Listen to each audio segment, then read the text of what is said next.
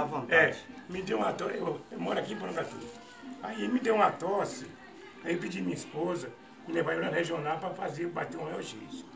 E aí quando chegou lá, quando eu dar a moto, começou a dor na perna.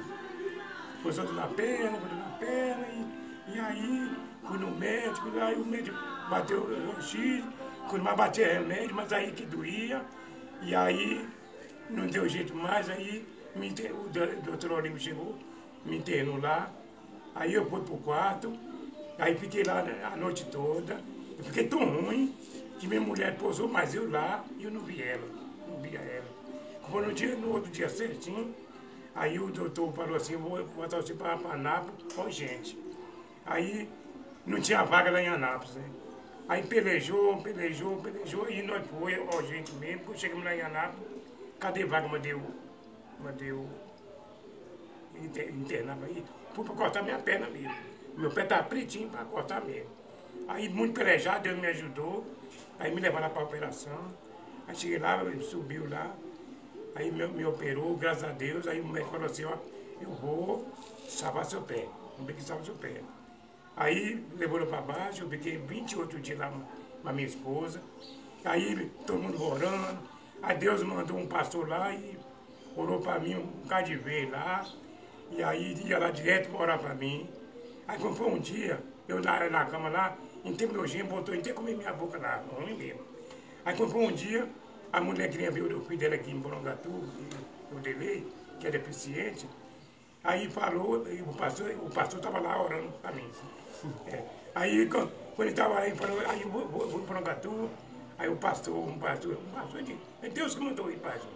Aí ele, ele disse assim, ele falou assim, ó, você vai, dona irmã Vina, eu fico mais ele aqui uns três dias. Aí ele falou, ah, pois é, pastor, vou esperar o médico sair, chegar, conversar com ele, sabe? Conversar com ele. Mas deu engano. Aí, aí o pastor veio, aí chegou e falou assim, como é que tá aí? né? E eu, eu, eu soube conversar, minha ideia estava Graças a Deus. né? minha, minha ideia é boa para conversar. Aí, aí pastor, você pode ir embora? Pode. Ele falou assim, ó, você pode ir embora, aí você vai lá em Borogatu, você faz um ultrassom e passa né, e manda para cá para Santa Casa. né?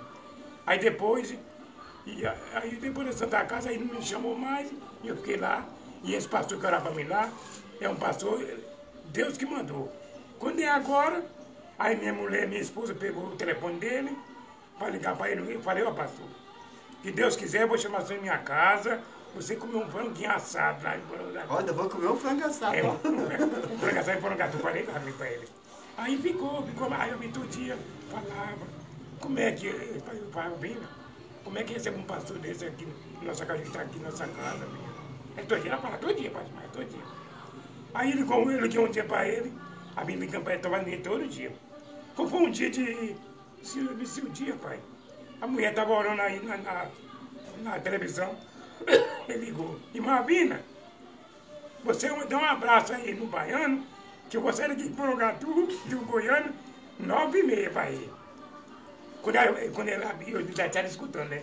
Quando eu, quando eu escutei aquela palavra, te contar, meu, eu, Gabriel, de cantar, não é possível. Rapaz, o que eu vou fazer agora, tudo.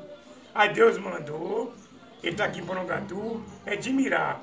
Nem meus filhos, nem meus filhos, não veio visitar eu aqui, é de mirar mesmo. Um pastor vindo de Goiânia visitar eu aqui, e está aqui na minha casa, e vou receber aqui bem, que Deus quiser, orando para minha perna. Ah, e outro também, eu me esqueci. Ele orou lá em Goiânia, lá em Goiânia, no meu pé, Anápolis. é, lá, lá em Anápolis, que digo. Ele orou lá, quando ele acabou de orar, na minha perna, meu dedo mexeu. Não é verdade, mexeu meu dedo. Eu também lembro, mãe, eu vi. É, é, mexeu. Aí, a Vila Panelilho, para a mina dele que atendia. Ah, pastor, ele liga para ele, a Vila. Ele, ele orou, o pé dele me, me, mexeu, mexeu. E mexeu mesmo, por Deus. Esse dois dedos dele mexeu mesmo, a Vila orou, sabe? Aí tá aqui minha casa aqui orando, e eu pedi a Deus muito de saúde a ele, que Deus quiser, eu vou ficar bom. Se Deus quiser, eu vou ficar bom. E ele quer. E ele quer, e Deus quer abençoar ele muito tempo. E a família dele toda.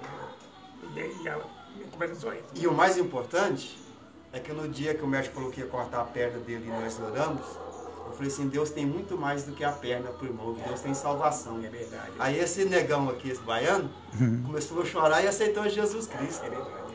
Então o melhor é a salvação. É, verdade. E fiz o voto lá na onde já comprei. É, Então, esse é o testemunho do irmão João Pereira. Deus me deu a oportunidade de eu conhecer lá no Hospital de Urgência. Deus me trouxe para a casa dele. E, e toda a honra e toda a glória do Senhor Jesus Cristo. E eu quero agradecer ao irmão Wesley, que me deu a passagem, a irmã Marta, a irmã Dália, o pastor Everson. São pessoas que me ajudou para mim poder estar aqui.